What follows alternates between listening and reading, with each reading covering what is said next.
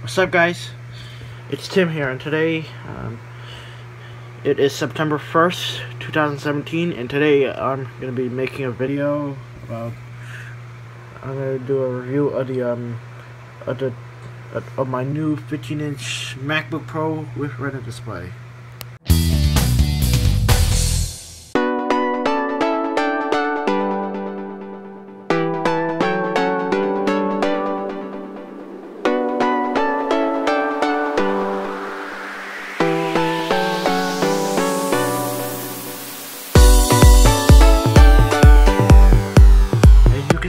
Screen, what you're seeing in front is my new 15-inch uh, MacBook Pro, which this is the, uh, late 2013 model, which uh, which I'll talk about the specs later because I gotta like look find it on the uh, info. So um, so yeah, which so we're gonna start doing a review about it. So, so yeah, which, starting at the side here, we got a MagSafe 2 which that which the new models now um, are using USB-C for charging it. We got two Thunderbolt ports which that's what USB-C is also replacing as well which this is the old models they, they, you know the old models they had Ethernet and uh, FireWire 800 which is gone now since it's really thin. They put Thunderbolt on it, and they're still gonna use it for USB-C as well. I think. Yeah, USB port on this side here, and there's well on the older models they had two of them on on on the same side. I mean, see, this is USB 3.0, which on the new models, same thing, USB-C adapter.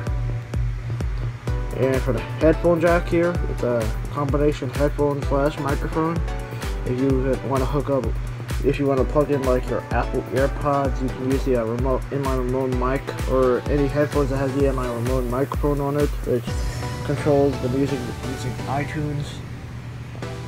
So that's the uh, combination headphone and microphone. Yeah, which the new models are located on the other side of the laptop on the new models. And on the on the old models there's no more the uh, battery indicator. Indicates that how much battery it is how charged it is which they still don't have that anymore. On the front it's basically nothing which it didn't change at all which since the old models had the IR sensor and the uh, and the um, sleep indicator but that's gone. And on the other side we have another USB port. An HDMI 1.4 input to hook up to like television or HD TV and a SDXC card slot which same thing USB-C ports for USB-C adapters for that but on the older models they have they would have like the um, super drive and the um, Kensington lock for security. And over here, in the back is this uh, hinge. Here's the hinge here. It's a made, it's a plastic one here. Versus the new one, it's plastic. So now, now let's go ahead and flip it over and show you. Okay, so under it, there's like basically nothing. You see here, there's the uh, focus focus Okay. This is a MacBook Pro. Here, you can see there's uh, four feet. There's four feet on here. This is uh, is since this is the since on these models uh, that's the MacBook Pro, which this is the name when this is like which they took it off the screen and the new models they put it back on so yeah. So now let's go and flip it over again. And over here is this uh we have a lighted apple logo. Come on focus sorry about that. My my camera's not focusing. That much. Well, here's the uh, Apple logo, the lighted Apple logo, which yeah, it lights up when you turn on the computer with the screen open. But new models they don't use that anymore. I do miss it. Which I I try. I want this model as well. And now let's open it up.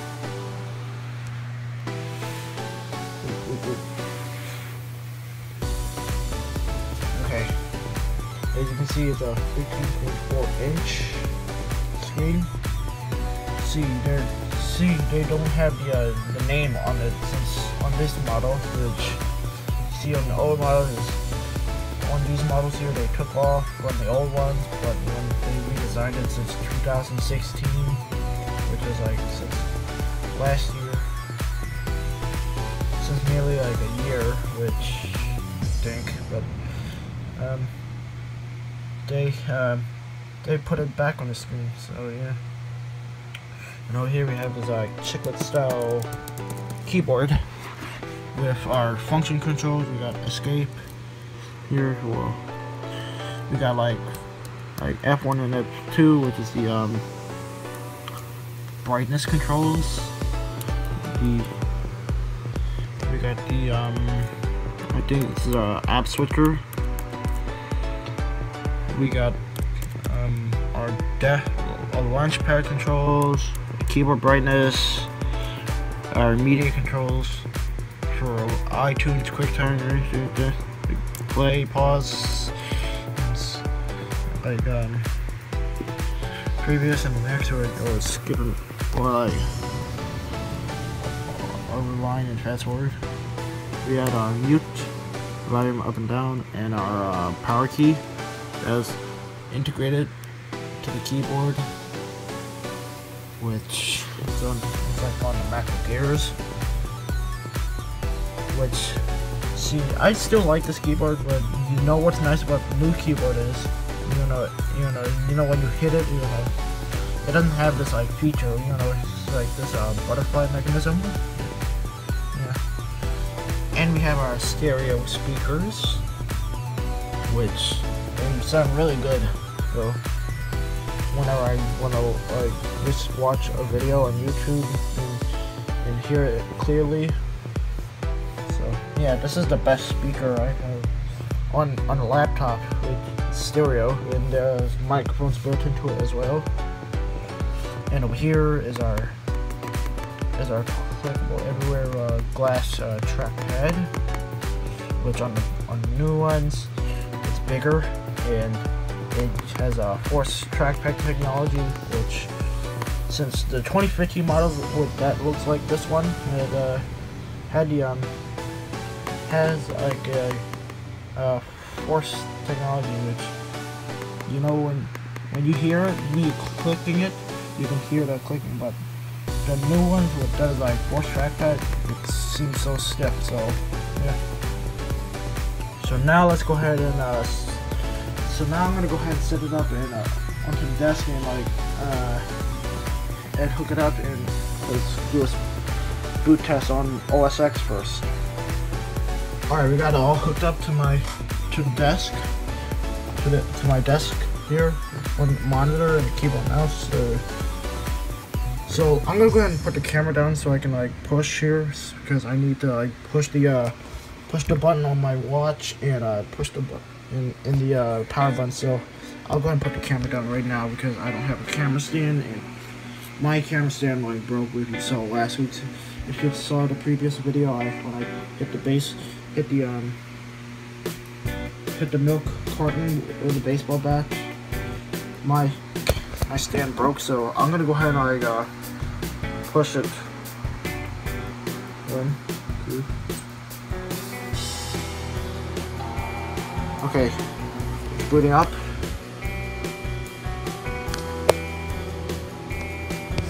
You can see um, it's on a blank screen. It's gonna take a while, as you see.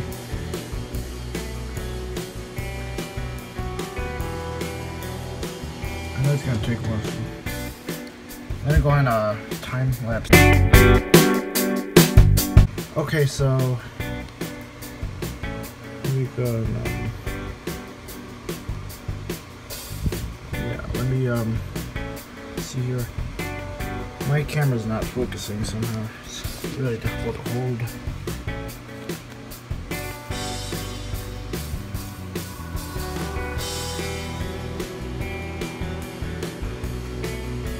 Okay, sorry about that, you guys.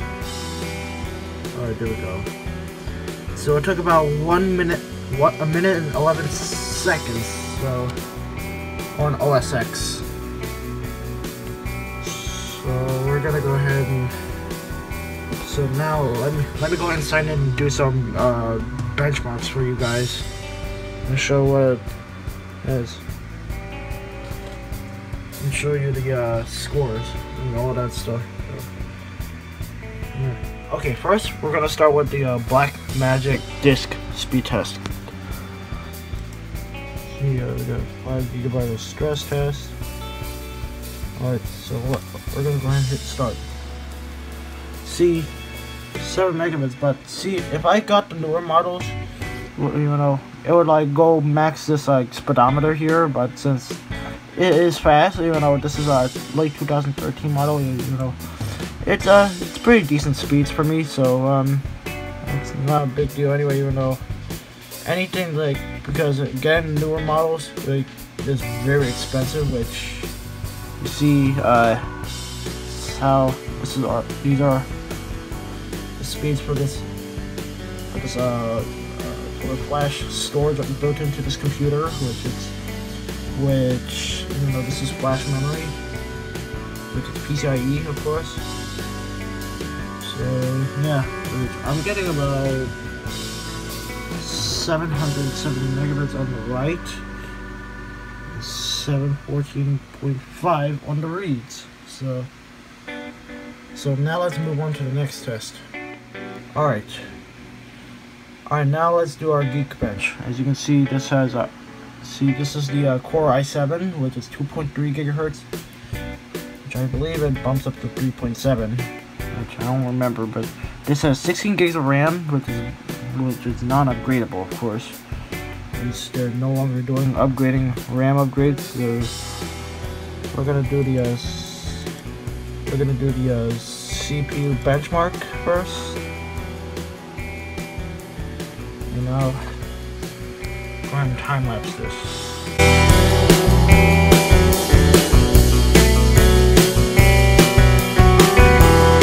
You know what, that's getting really boring, so I'm gonna go ahead and like uh, pause and uh, show you what the scores for like the CPU benchmark.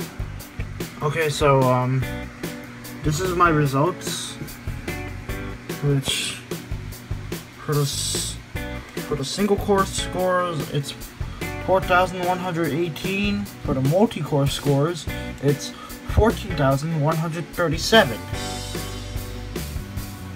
Uh, yeah, which like yeah, which is like really fast. You know, of respectable like scores here. Let's see if we want to do like the um others. So, now let's do the uh, compute benchmarks, which we're going to start with the OpenCL with the, with the uh, dedicated graphics. So I'm gonna go ahead and pause again and then I'll come back you guys. Alright, I'm back. So now on the dedicated graphics video OpenCL. Here's our open here's the OpenCL score for for the graphics card But I'm testing dedicated graphics. So this has the NVIDIA GeForce GT750M with its 2 gigs of RAM. So Here's the scores. This is 13,768. And now, let's see what, what the difference is. Oh, okay. This is only in tryout mode, so. Now let's try the um, integrated graphics and see what we get. Okay, pause again. Okay, so here's our scores for the um, Intel Iris Pro. For the integrated graphics, which is the Iris Pro that's built into the CPU. Here with its see here, this is 20,000, uh, 27,423. So yeah, which is Intel Iris Pro. This is the NVIDIA GeForce GT750M, which is the dedicated. And all that stuff, so yeah. Which I cannot even test the metal because this is a, this is a trial, so um, so yeah. Um, so now let's go ahead and move on to the next benchmark. Alright, uh, our next test, we're going to be testing the OpenGL score on using Cinebench. So we're, which is going to be our gaming performances and all that stuff, and we're going to see what are the scores for the uh, OpenGL. So I'm going to go ahead and pause here again, and then I'll show you the score for the OpenGL. Okay, so the scores we got here is 5881 58.81 frames per second which see here this is fourth place of like the OpenGL which beat out the ATI Radeon HD 5770 so yeah which this is our OpenGL. So now we're gonna go ahead and test um, the CPU so I'm gonna go and pause again and show you the scores for this for the CPU test. Alright, and now for the CPU, it did better as well, which is about 555. Which which is really really expectable respectable for me, which beating out all my uh my other laptops that I had, my other PCs, my and also beat out my my dad's MacBook Air which it beat it out all my other uh, Windows laptops, which I was I couldn't get any like better, but I tried to get better ones from the old laptop right there, which is broken now. But see, I but you see this one can do better. So, so now let's try to move on to the next test. And our next test, we're gonna be testing Novabench, which you see uh, Tesla's memory, processor, and the graphics. So we're gonna go ahead and start the test. So I'll come right.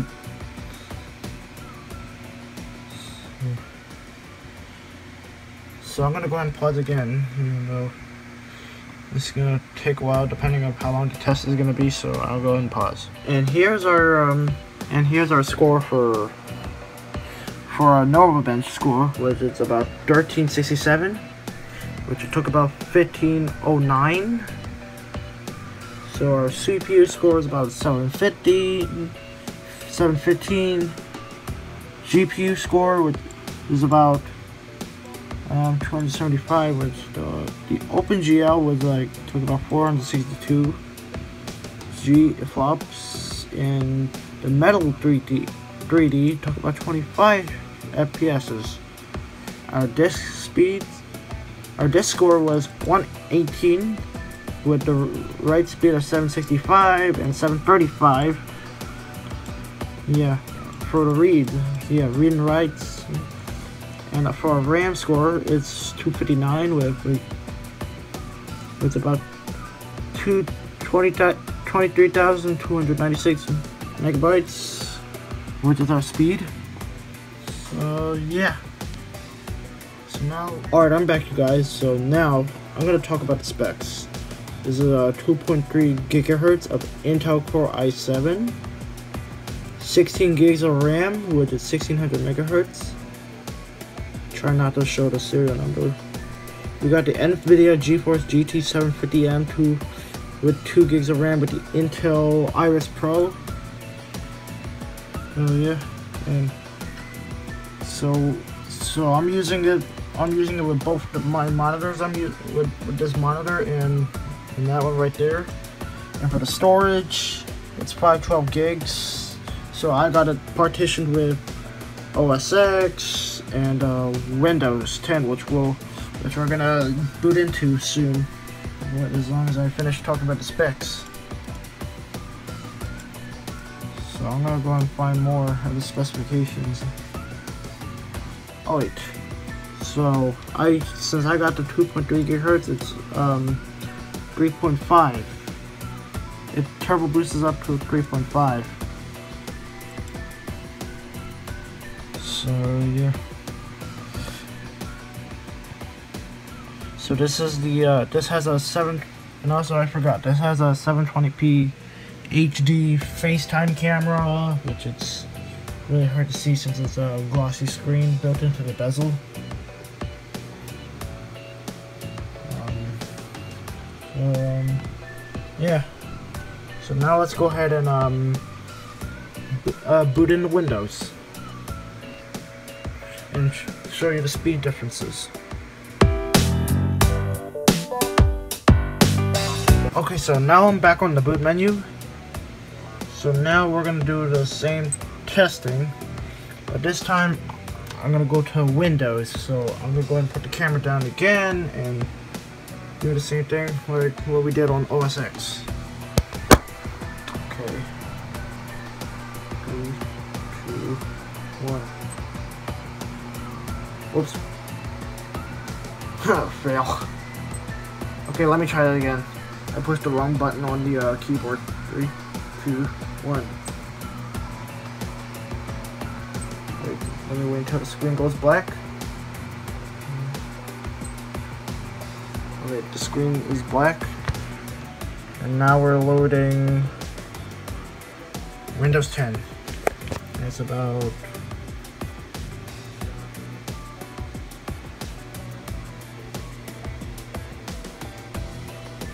about until we get to the login screen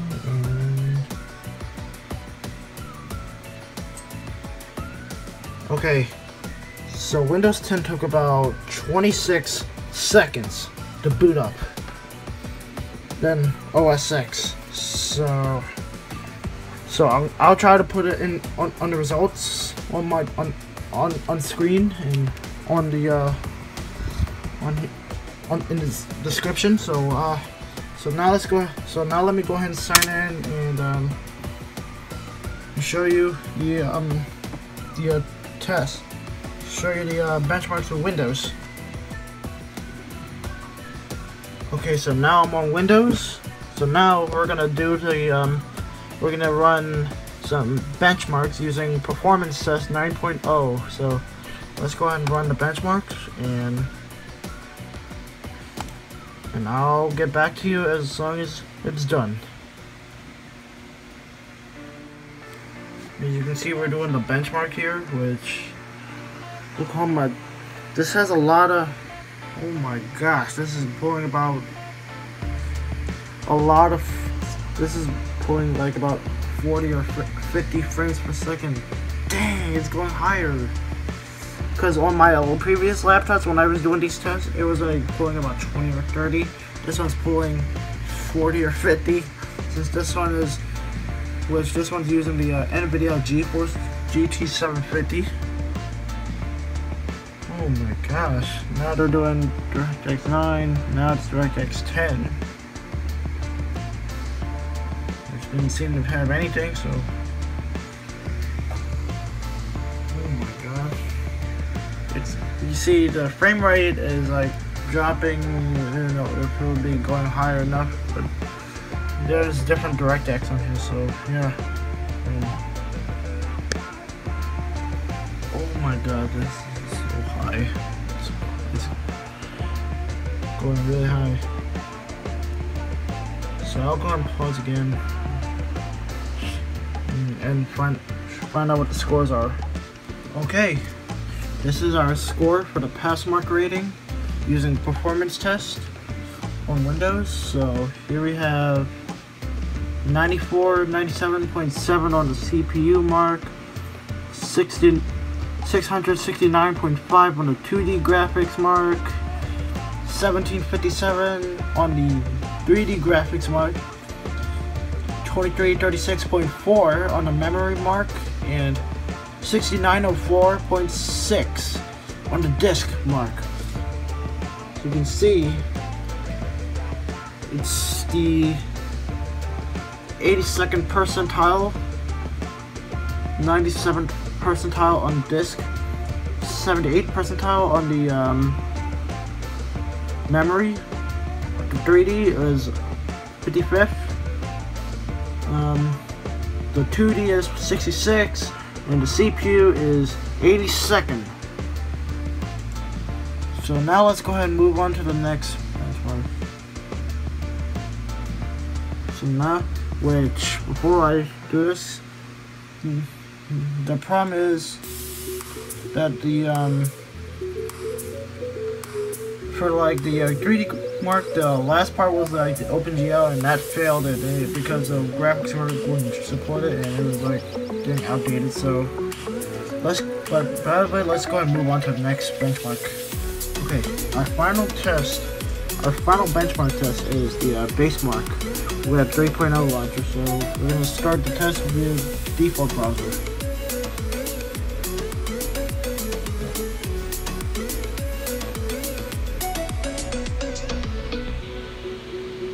So I'm gonna go ahead and uh, pause so I can, uh, because this is probably gonna take a while, so um, I'll go and pause. Alright, I'm back. So this was the uh, score for the, um, for the, well, this is the Basemark for web browsers, which, since I, I'm using Google Chrome, which, this is the result, 602.74, which the core suite uh, 236.58, graphic suite 828.81, generic suite 663.49, and now for CSS 57.86%, HTML5 96.22%, page load and responsiveness is about 93.05% and a resize is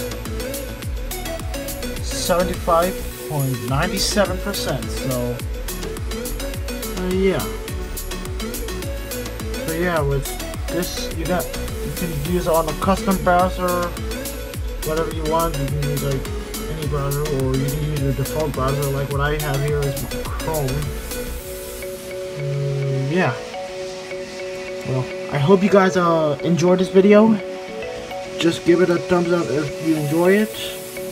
Well, but wait, before I let you know, since if you're wondering why I didn't the why I went with these models, because the new models are very expensive, which even though I know what's nice about the new models is that they use a Kaby Lake, Kaby Lake uh, processor, which is like a lot faster than this one. But this one's uh, enough for me, even though this is a Haswell. So, but I'll be fine. So um, yeah, uh, give a video a thumbs up drop a comment down below if you have any questions. And hit the subscribe button for more future content coming up. Uh, also follow me on Instagram, ten point three zero four one one. So yeah, um, so yeah, um, thanks for watching.